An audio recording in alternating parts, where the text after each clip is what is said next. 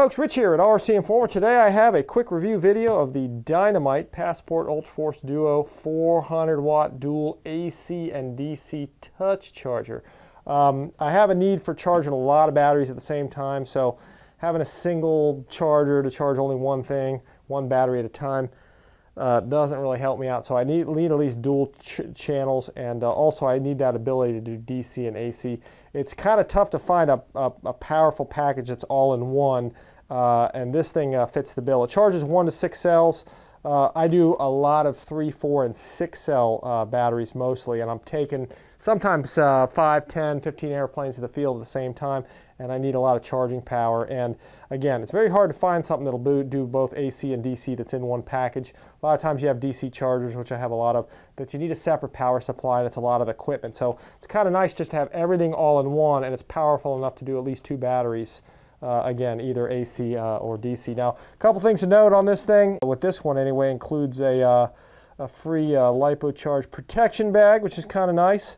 Five-year warranty, again, AC, DC, two batteries at the same time, uh, 200 watts uh, per channel.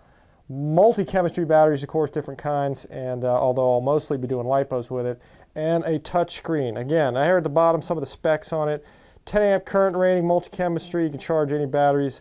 Also has USB on it, guys, so if you got your phone out there and you need to charge something your phone, which my phone's dying all the time when I'm out there, so it's kind of nice to have that input, which you can see uh, kind of right there. It also has a uh, temp controllers there and, uh, and so forth. So you can charge your phone at 2.1 amps right there, guys, while you're, uh, while you're sitting there flying and doing things. Um, again, touchscreen, multi-channel, multi-processor controlled and uh, again AC DC all the way around. There's a big list there guys detail all the specs on this thing. And uh, just a real nice charger all the way around. You can see that touch screen. We'll get in there and look closer to everything. You also get along with this thing is quite a uh, gambit of uh, wires as you can see here for charging everything. Um, and again here's just a quick picture. It shows you that USB uh, charge port. So I'm going to be using this a lot because it's kind of nice to have something to like charge your phone with, you know, like kind of like right there while you're out at the field, uh, while you're flying planes, that thing can be charging. Anyway, guys, let's get this out of the box and see what's inside. As we take this thing out of the box, guys, you can see it comes out pretty nicely. Oops, I just messed up that foam there. Let's see, we'll pull this thing open and you can see everything's nicely packed. Here's the uh, free charge bag that you get with this thing. Uh, you got uh, instruction manuals, which actually they sent me looks like four or five instruction manuals. That was probably just sort of a mistake. Uh, and then you have the charger itself, which is uh, really nice here, guys. And then you got all of these uh, charge adapters and balance adapters and everything. And uh, you can kind of get an idea of uh, how this looks. They got nice uh, protective screen covers over those touch screens. But a very rugged, very robust charger. You can see here where you plug in you, all the cooling fans and you plug in your power cord right here, your on-off switch. And then lots of cooling panels and holes and stuff under there and uh, gives you all the uh, all the specs on the underside and the power output.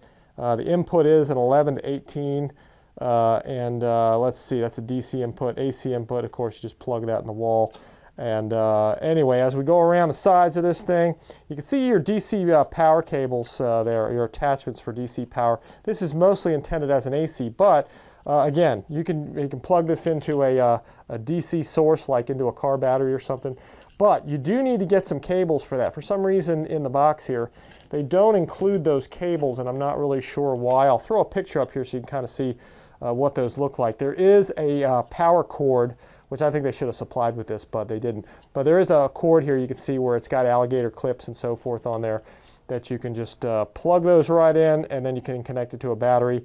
Um, these things, guys, are either PA, if, if you don't want to get the cord, uh, they, these are called either PA75s or PA45s. I'm not sure the type of connectors these are, but you can always get those connectors and make your own lead if you do want to plug this thing into a battery uh, and charge it. So anyway, guys, uh, cooling fans on this side as well, and uh, overall, really nice, guys. You can see your, your adapters here where you plug in your charge cords, your balance sockets here, uh, optional temperature sensors, USB ports here, and uh, also again your uh, USB sort of charging 2.1 amps 5 volts so you can really charge almost anything uh, at the field now let's go ahead and plug this thing in and uh, let's see how the thing uh, works Once you have the dynamite charger plugged in, you're ready to go ahead and turn it on. I'm going to zoom in here a little bit on the screen and show you something. As I power this on, you're going to see I put my RC Informer logo in here, so you can kind of personalize it here just a little bit.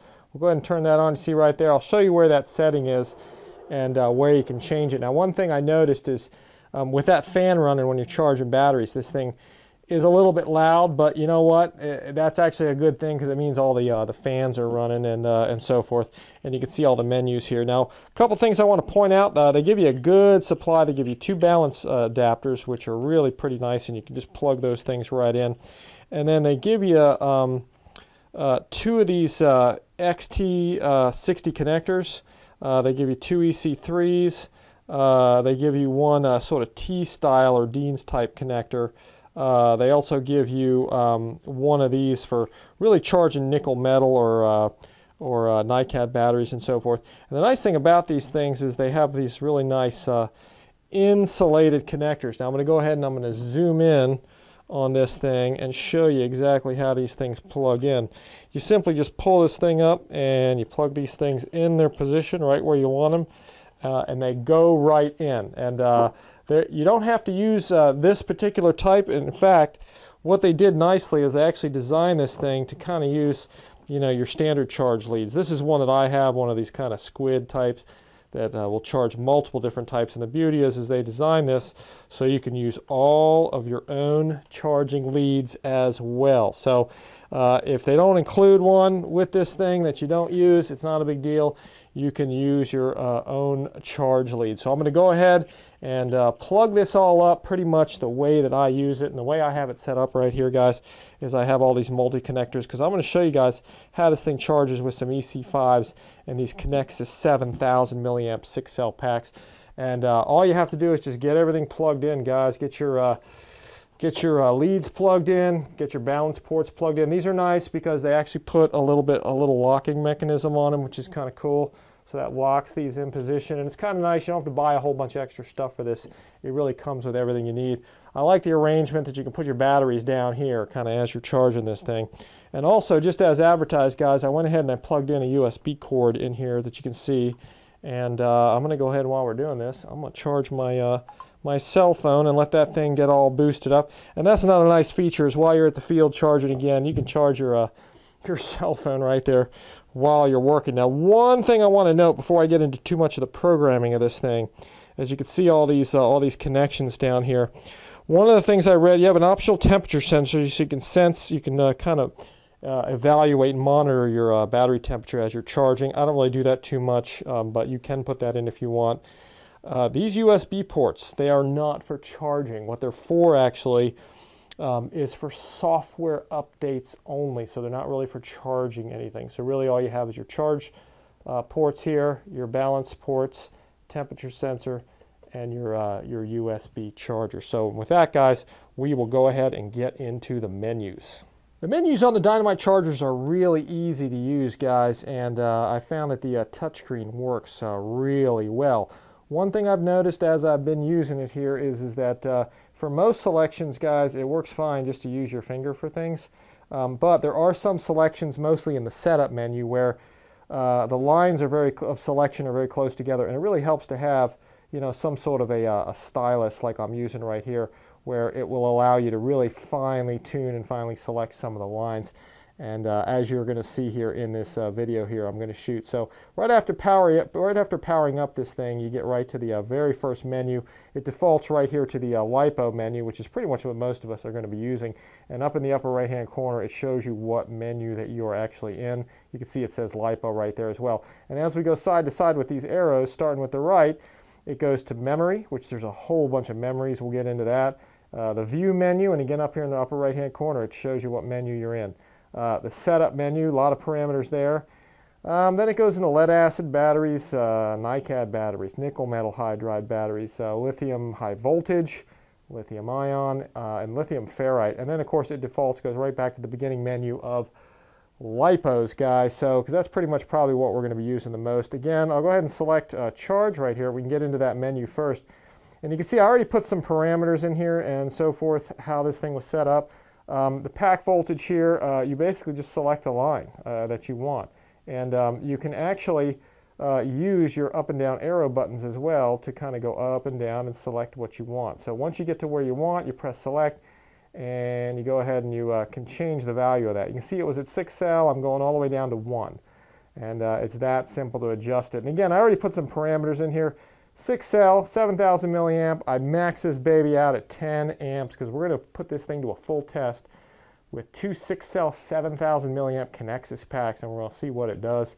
Uh, you can set your end voltage here as well, 4.2 for example, and um, and uh, you can reduce that as well. But 4.2 is where you want it because you want the, the, the, thing to max out and charge. Now when you're getting ready to charge this thing, you're going to take your finger, your stylus, you're going to go on charge or press or hold. Basically this bottom line, you're going to hold it down, okay? And that's going to start the charging process. So uh, before we go into that, I'm going to show you the other menus and then we'll get that going. Uh, I set both sides of the charger and again, both of these sides, guys, uh, both sides of this work exactly the same. They're both set up uh, to, to charge two separate batteries uh, with exactly uh, in exactly the, the same method. So uh, both the menus work the same. We'll go to back and then we'll go here into, know, went too far. We'll go to the next menu, which is memory, and we'll click on that. You can see here, there's actually 20 memories, and you can actually just, whatever you're not sure about, just press on it, and it usually works. And you can see here, I'm going to go to two, three, four. So there's actually four screens with 20 memories that let you delete, load, and save uh, some of these uh, memories. And so since this is number one, I'm going to try this. Actually, I actually haven't tried this yet. Uh, okay, we've got the first one set uh, as a 6S, and it's a 10 amp charge. So that's already saved in memory, which is nice. So again, you can program 20 memories in there. Next menu here, guys, uh, is going to be the, uh, the view. So let's take a look at what the view gives us. it looks like it shows us what the input voltage is currently output voltage, uh, the internal temperature of this thing, resistance, and temperature sensor, which it says there's no, no sensor there. Uh, let's see what cells says. Cells gives us a readout of each of the individual cells. I'm not sure what res is. Let's click on that. Uh, obviously, that shows us the resistance. That's what that is, the internal resistance of the batteries. And uh, it tells you what each one of them is uh, reading. We can hit the back button and go back. And again, that takes us back to the main menu. So as you can see here, guys, very simple to use. Next menu is the setup. I think there's a bunch of stuff here. You can see up in the upper right corner, which is usually the place to default to go to. Um, you're looking at, uh, again, one through four pages, so you can scroll through those. Uh, as I select the next line, um, you can select it, and then you can select, do you want Fahrenheit uh, or do you want Celsius? I'm going to leave that on Fahrenheit because well, that's just how I like to roll. So we're going to do that, and then uh, let's see, cutoff temperature, um, input low voltage, um, and then input limited, auto. There's a lot of menus here, guys. Honestly, I don't know what all this stuff is. There is a discharge mode as well that you can select. Uh, CC, there's a, here we go back to that. We'll select that. There's uh, CC and then there's CV. Honestly, I'm not sure what those two mean. mean. I do have to get in the instruction manual and check out the two of those uh, and, I, I, and, and uh, I'll probably do that at a later time. Uh, you can see here balance voltage, guys, is in auto, balance force, full force auto. So again, a lot of things to set here. There's a safety timer of 240 minutes. You can adjust that. Obviously, if the charger keeps charging, you could set a time for which it will stop charging so it doesn't, you know, cause any problems. A lot of little setup menus here like, uh, like uh, backlight. You can see I can reduce that. It defaults at 100%, so it's nice and bright, but if you don't need all that, you don't need it. Melodies you can change. I don't know if you guys can hear that.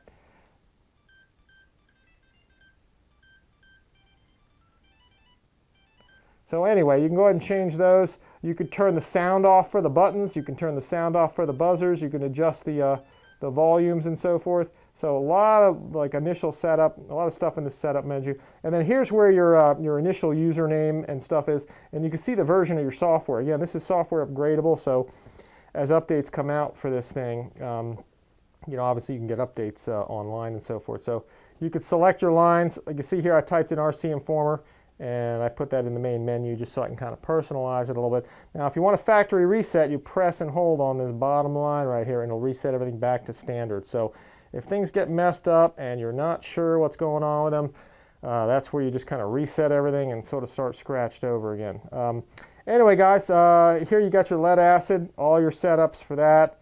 Uh, you go, which I, I, don't know if I'll do too much charging that. NiCads, I might do some nickel metal hydride charging because, and uh, of course, there's a discharge menu, a cycle menu, all kinds of different menus for this. Um, uh, and then you can set your capacity, your current.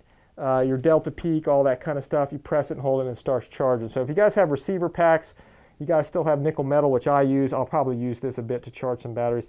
And then again, lithium high voltage. You go into the charge menu and you set up everything. So that's really about it, guys. The menus are pretty simple. Mostly it's the initial setup and then these individual uh, different uh, menus that you're going to get to that you charge everything with. Now, while we're on lithium polymer, I'm going to go ahead and set everything up to charge here, guys. And as you can see, between the uh, two of these things, I'm going to move this thing over a little bit. We're going to get right onto the two of these things.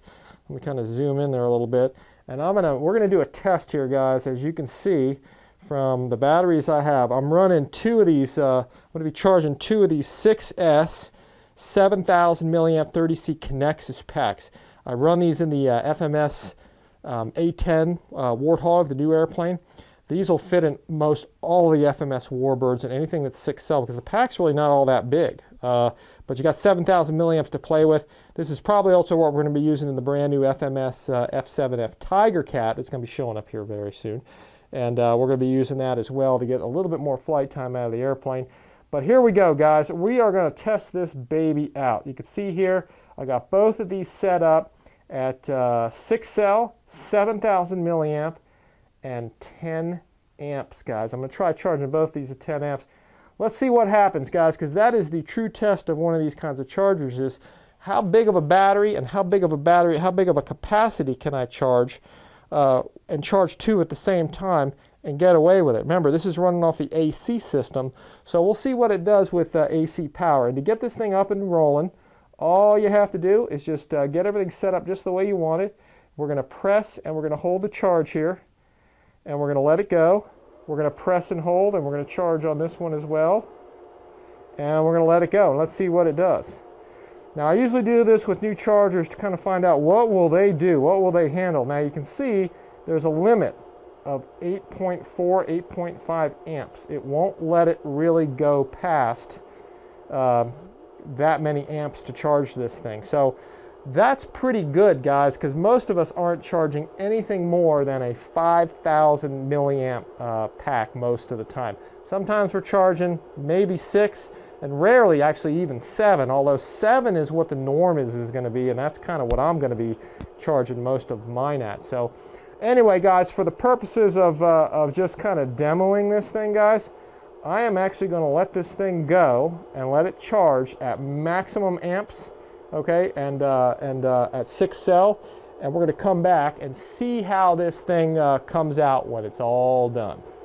All right, guys, we're about halfway into charging these batteries, and we're just going to take a quick look as the uh, progress here continues. Uh, as you can see here, we've put in about 3,600 uh, milliamps here. we've dropped down to about about 7.9 amps, 7.6 on this side. And uh, here we're at 24.35 volts and 25.1. This battery actually I think uh, was a little bit more charged than this one. This one was a brand new one. Um, but for the most part they're the same battery. You can see everything's coming up.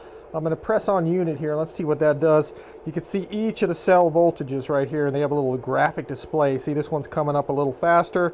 Uh, let's go back to res. You can look at the um, uh, internal resistance of each of these batteries and kind of see where they're at. We'll go back as well on both of these. Get back to the beginning. That one on the right looks like it's almost done. We'll go back again.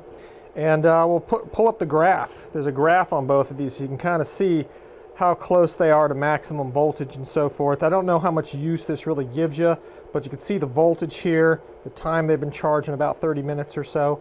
And uh, this one's almost fully charged, so we're about uh, ready to uh, to be done with these. So, but anyway, guys, just a quick look at the middle of, uh, the, around the middle of the charging, or almost towards the end anyway.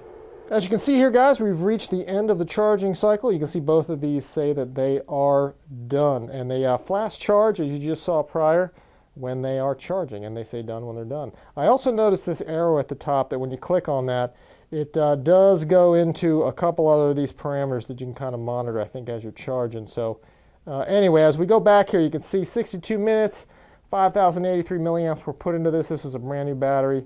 Uh, of course, zero current right now. It started at 8.4 and then tapered down to zero. Uh, voltage 25.2, uh, so this is fully topped off. Resistance of uh, 52. And uh, let's see, 4.2 volts per cell. and you can see the internal resistance on each of those as well. Graphical display shows the time. I'm pretty sure 62 minutes, 45 seconds is right at the end of that. You can see how it charged up and then it tapered off, and we're now at 25.2 volts. So back to the beginning. Uh, similar on this, 54 minutes. Uh, this is an older battery, guys, I've used a lot. 4,077 uh, milliamps were put into this. Uh, of course, zero current now, 25.2, 54 ohms. I don't know why there's a rogue temperature in here because I don't have a temperature sensor set up. So, but anyway, we'll uh, we'll kind of take that under advisement. Looks like everything everything maxed out here at 4.2, and uh, let's see, internal resistance looks about the same on everything here, and then the graphical display very similar to the other one. You see, about 54 minutes is represented from about here to here, and you see where it charged, and then it topped off, and then it uh, went ahead and uh, got everything uh, all balanced. So really nice guys overall how this uh, this thing charged. Now one other thing I want to try now that we're fully charged on this, another feature that I use on a lot of these uh, these things is um, uh, when I'm doing lipos is their storage ability and how well these things will store. Now I haven't actually tried this yet, so we're going to kind of see what this uh, this thing does do. Now I'm going to see how high we can get the the discharge current. I'm going to just rev it all the way up and see what it goes to. 10 amps is probably not realistic. It's probably only going to go to maybe 1 amp or something, but that's actually what I want to test. I'm going to run this up to uh, 7,000 because that's what our battery is, and we'll see what it says. Obviously, when you go up to 7,000 milliamps, it will uh, put 7 amps in there. So, uh, and then the end storage, and you can set that to whatever you want. And um, and uh, you know 3.85 is, is really a storage voltage. So once we have this set, I want to see now what this is going to do when I store it, because sometimes I don't have my battery. Sometimes I fully charge, I don't even go fly, so I got to set this thing into storage mode. So we're going to press and hold this storage mode button here. We're going to let it see, see what it does and what it'll discharge at, which is actually one of the real important things that you want to look at. Um, looks like it's climbing up steadily. We're at 25.15 volts. That's probably a little bit erroneous, but I think it's going to top off at 1 amp is what it's going to do, because most of these things will discharge at 1 amp, but let's see if it goes any higher than that. We'll see. Yeah, that's probably about it, which is good, and that's kind of what you want. That's about the most you're going to get out of most of these chargers is about a 1 amp uh, uh, discharge on these things. You can hear that fan just kicked in, guys, and uh, this thing does make a lot of noise because it's got a lot of cooling fans in both sides, and that's good because it keeps it nice and cool. The charger barely even got, it got warm, but not too hot, even charging at a real high uh, rate like that. But anyway, uh, this one amp will get this thing uh, discharged and down at a really good storage level. And uh, that's good to know that it will discharge at one amp. So when you have a high capacity battery like this and you have to get it, uh, get it discharged, you can do a one amp discharge on this thing. So anyway, guys, overall, really nice charger. Uh, I will be getting this thing out to the field uh, just as soon as I can to be testing it out while I'm flying and filming. Uh, Joe Nall is about uh, a week or so away, guys. So I'm going to be getting this out there and really charging the heck out of stuff at Joe Nall. So I'll probably report back on it after I get uh, a lot of charging done with it. But uh, it seems to be a really nice charger. What I like about it is, is that everything kind of goes right through the front here, and you can charge everything right through the front instead of having wires out both sides of the thing. Um, it's AC and DC, so you can charge both ways if you need to, depending on what you need. And it will charge two big packs at 8.4 amps, which that's the maximum. I only do that for demonstration purposes. Mostly I only charge at 1C.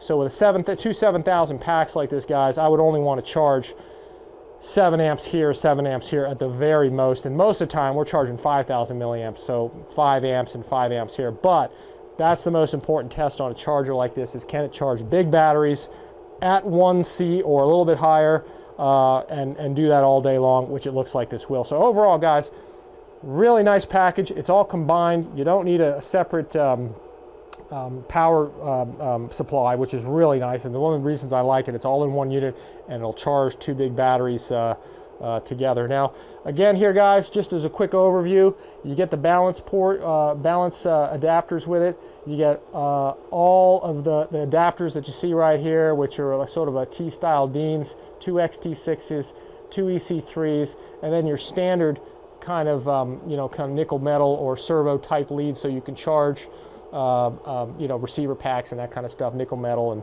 NiCad and stuff. Uh, charge bag came with mine, which is nice. I don't use them too much, but uh, they get the job done.